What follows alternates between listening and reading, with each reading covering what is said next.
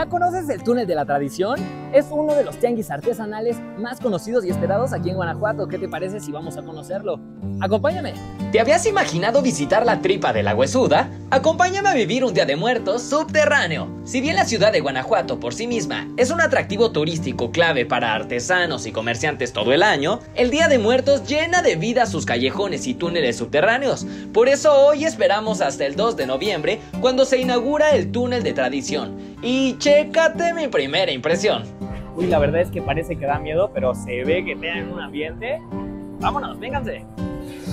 Este enorme túnel de tradición es una muestra artesanal y gastronómica que es montada en la calle subterránea de Guanajuato capital desde el 2018. Y chécate nada más lo extensa que es, pues abarca desde la bajada de la Plaza de Los Ángeles y culmina hasta la rampa de la calle Alonso. Pues esta fue una iniciativa de nuestro alcalde, licenciado Alejandro Navarro Saldaña, que cuando iniciamos en este proyecto 2018, que íbamos entrando casi casi, se le ocurrió esta magnífica idea de hacer este gran evento en la subterránea, que la verdad en la primera edición lo hicimos un poco más corto porque no teníamos mucho tiempo para realizarlo y fue todo un éxito, lo que mucha gente dudaba porque es una de las calles principales en cuestión de vialidad, a toda la gente le gustó y rápidamente la gente de Guanajuato ha logrado adoptar este evento como suyo y que más establecimientos también turísticos, que es por lo que vivimos, están encantados de la vida, de cómo ha crecido este evento.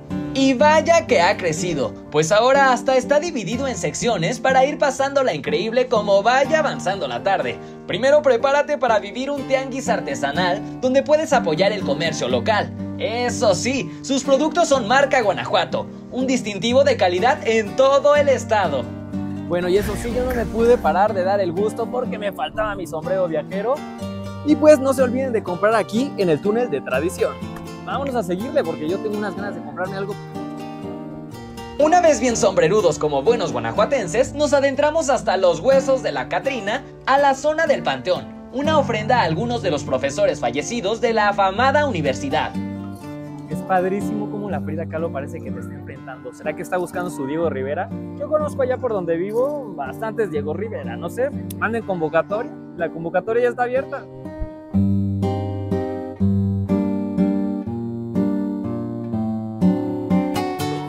En esta tercera parte nos encontramos con el altar principal, uno de los altares más esperados y además también dedicado directamente a un comerciante muy querido de aquí de la región, don Raúl, llamado El Mamonero, precisamente por los dulces que vendía. Está padrísimo. Y una vez reflexivos, dentro del túnel se encuentra una exhibición de reconstrucción facial de las afamadas momias de Guanajuato. ¿Quién sabe? Tal vez si ya reconstruidas, te encuentras como yo, uno que otro pariente. Es increíble cómo la inteligencia artificial puede ayudarnos a reconstruir los rostros de las momias que alguna vez fueron exhibidas. Está padrísimo. Ah, y no olvides tomarte la foto, pues a esa altura se encuentran varios de los stands de photoshoot. Así es, por fin la parte que más estaba esperando, pues cuando hablamos de antojitos, Guanajuato se pinta solo. Aquí puedes encontrar desde tacos gourmet con todo tipo de salsas hasta tu mesa de postres, que en esta cuarta sección eran un imprescindible. La verdad es que la comida de los artesanos de aquí de la región está deliciosa. Y luego sigo con las puchas, ¿eh?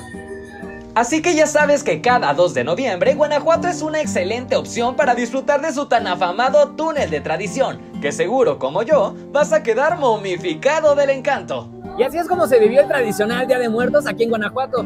Yo me voy a buscar mi siguiente parada, pero no se vayan y súbanse. Sigamos viajando con los amigos. Para Expresa TV, Antonio Álvarez.